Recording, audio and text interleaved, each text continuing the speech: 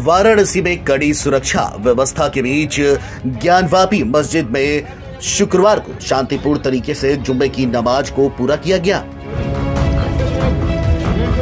नमाज़ अदा करने के बाद सभी नमाजी ज्ञानवापी मस्जिद से बाहर निकले। ज्ञानवापी में नमाजियों के पुराने रिकॉर्ड इस बार टूट गए हैं। बता दें कि जुमे के दिन 2000 के करीब नमाजियों की संख्या ज्ञानवापी मस्जिद में नमाज़ अदा करने पहुँची।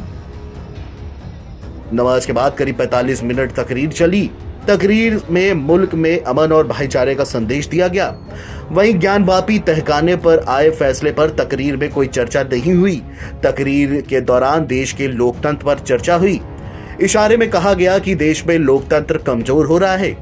जुमे की नमाज़ को लेकर ज्ञानवापी नमाजियों से पूरी तरह भरी पड़ी थी। ऐसे में नमाजियों को काशी विश्वनाथ धाम के गेट नंबर चार तक रोका गया। पुलिस प्रशासन द्वारा लोगों से ये बोलकर रोका गया कि अंदर बहुत ज़्यादा लोगों की भीड़ हो गई है।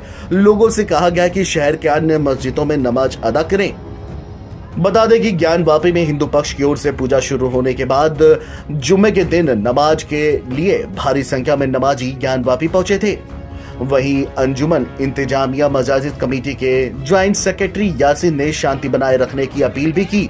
आसपास के क्षेत्रों में पुलिस ड्रोन से निगरानी भी की जा रही है। वहीं ज्ञान वापी में पूजा शुरू होने के बाद अंजुमन इंतजामिया मजाजिद कमेटी द्वारा बनारस बंद का ऐलान किया गया। बंदी के ऐलान के बाद नमाज़ शुरू होने से पहले ही भारी संख्या में नमाजी ज्ञान वापी पहुँचे। नमाजियों की संख्या के देखते हुए प्रशासन भी सख्ते में पड़ गया। संख्या को देखते हुए प्रशासन ने चौकसी भी बढ़ा दी। जुम्मे की नमाज़ के मद्देनजर प्रशासन की ओर से सुरक्षा व्यवस्था के पुख्ता इंतज़ाम किए गए।